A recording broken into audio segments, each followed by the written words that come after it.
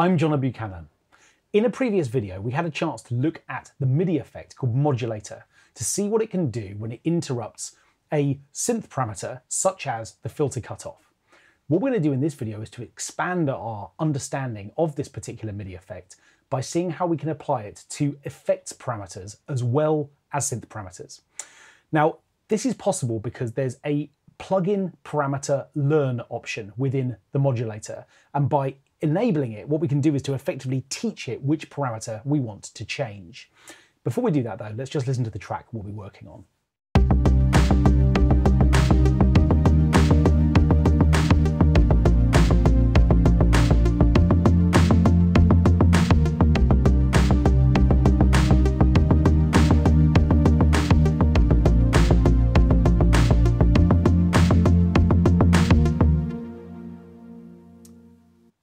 Okay, now the first track within my mix that I want to apply this effect to is the bass line.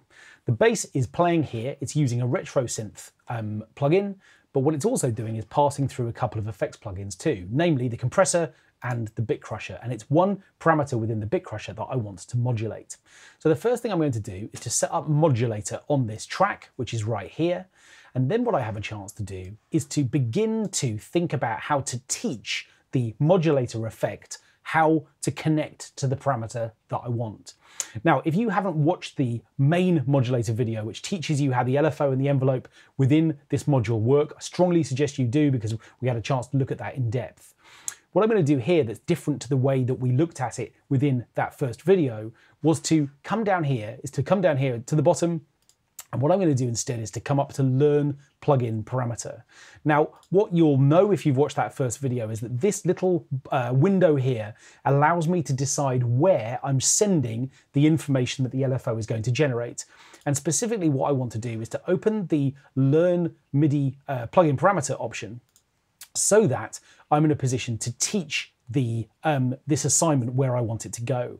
Now, specifically what I want to do is to send it into the downsampling amount of the bit crusher. And the moment I touch that dial, I can see straight away that all hell breaks loose. Straight away now, the downsampling is going absolutely crazy. Why is it doing that? Well, because the LFO shape that's being created automatically here is now being routed into that parameter. And I can see that Logic's even automating it for me so I can see exactly what's going on. So let's get things a little bit more under control. Firstly, what do I want the shape of this LFO to be? Do I want it to be the triangle wave that I'm seeing at the moment, or do I want it to be a different shape? Let's suppose I choose a sine wave instead.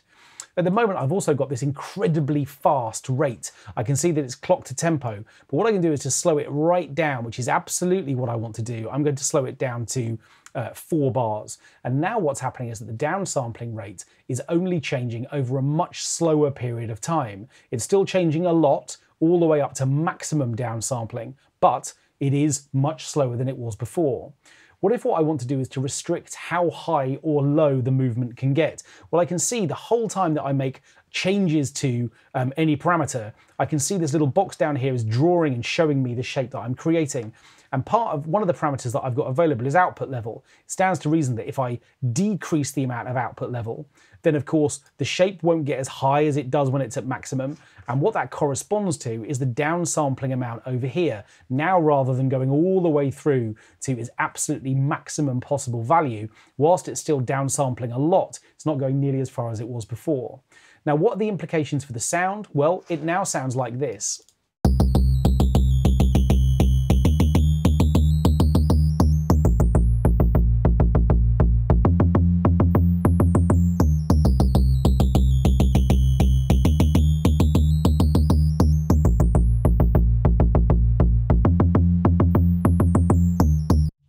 I can hear it unfolding over time. Now what I'm actually going to do is to take that down to two bars, and I am going to come back to a triangle shape instead.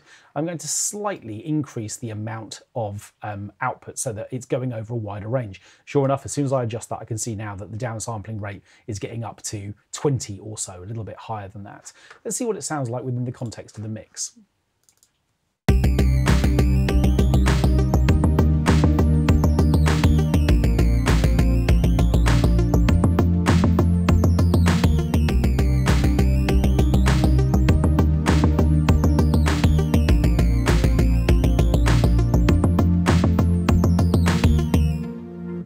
Okay, so that's working really nicely, but it's quite an extreme effect. What if I want to hear a bit of this, but not nearly so much as I am hearing at the moment? Well, the Bit Crusher, like lots of uh, Logic's plugins, has got a mix dial.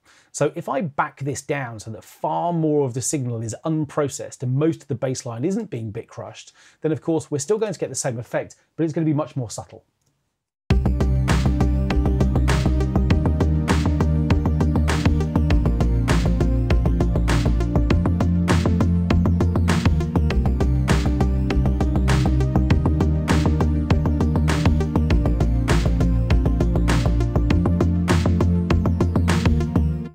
Okay, that's nice. We're getting a kind of characteristic bit crushing aliasy kind of sound, but without um, quite so extreme an effect. Okay, so that deals with that particular sound, the bass sound. What I also want to do is to change a synth parameter, which I don't have just available within RetroSynth to just immediately modulate. Let me set up the modulator again on this next door instrument, this airy pick sound, which is here, which is just sort of basic synth pluck. And if I um, open up the um, synth parameter will just hear this sound by itself.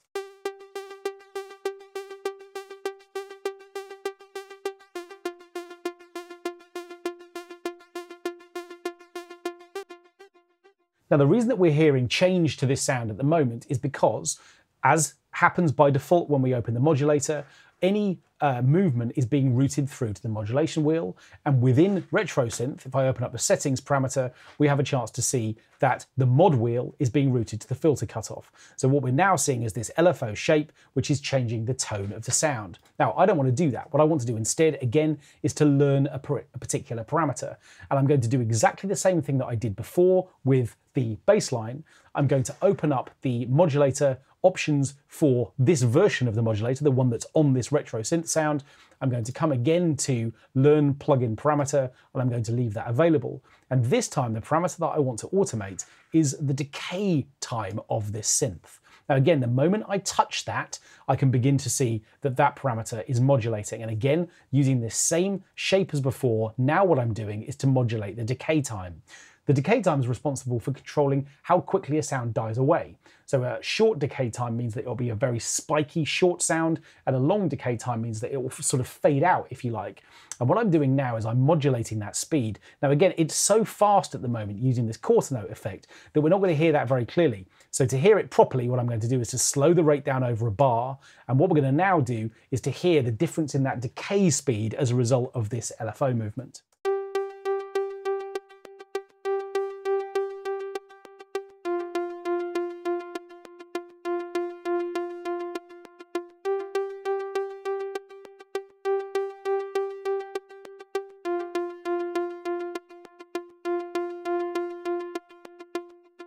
Now there are a couple of other things that I could add here. For instance, what I might choose to do would be to select a random shape instead. Now by default, the random shape is a sort of square wave. What I'm going to do is to speed it up now to, um, let's say an eighth note. And now what I'm going to get is a random output. And one thing that's worth remembering and that's really nice is we get a chance to see the kind of correspondence between this box showing us our current output level and the implications that that's having over here for the decay time. But now we've got a much less predictable shape rather than just following the same pattern as before, it's going to be jumping around randomly. If I don't want this to be quite so square and hard edged, if I want to, I can just introduce a little bit of smoothing and I can now see that the movement's just a little bit more sinuous. The shape up here is again a bit less hard. And of course, we're seeing that reflected in this box too.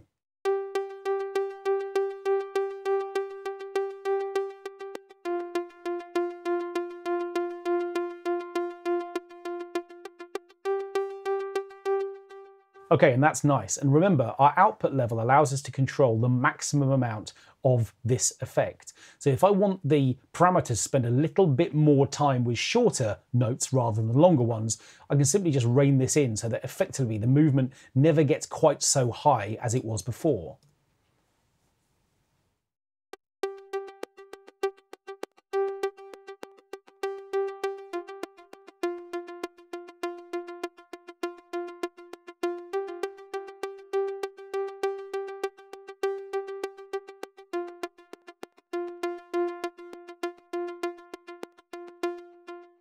And now what we've got is this kind of constantly evolving little synth pluck. Let's see what both of those modulators are now doing for the mix overall.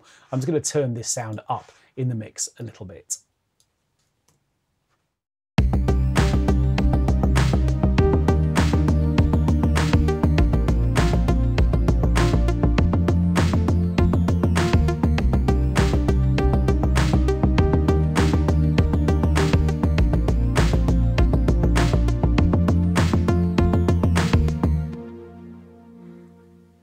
Okay, and so suddenly now we've got this kind of really interesting sort of pair of shapes where two parameters that we'd otherwise have to automate are now being modulated in different ways. And of course, it's worth bearing in mind that you can still use automation. I could choose other parameters that I wanted to kind of contour in uh, sort of alongside these LFO movements just to create extra ways of being able to shape this sound. So what we've seen across two videos now is that the modulator plugin is an amazingly adaptable interface. What we can do is to create shapes to interrupt signals. And by teaching the plugin which parameter we want to target with its movement, we can create all kinds of really interesting effects. Imagine, for instance, picking the decay time of a reverb as your parameter, effectively the whole time, the space in which a sound that you were playing back would be moving either very rapidly or very slowly over time, just shifting the kind of spatial characteristics of a sound. So use your imagination, think about all the ways in which you could apply this effect and go and have some fun.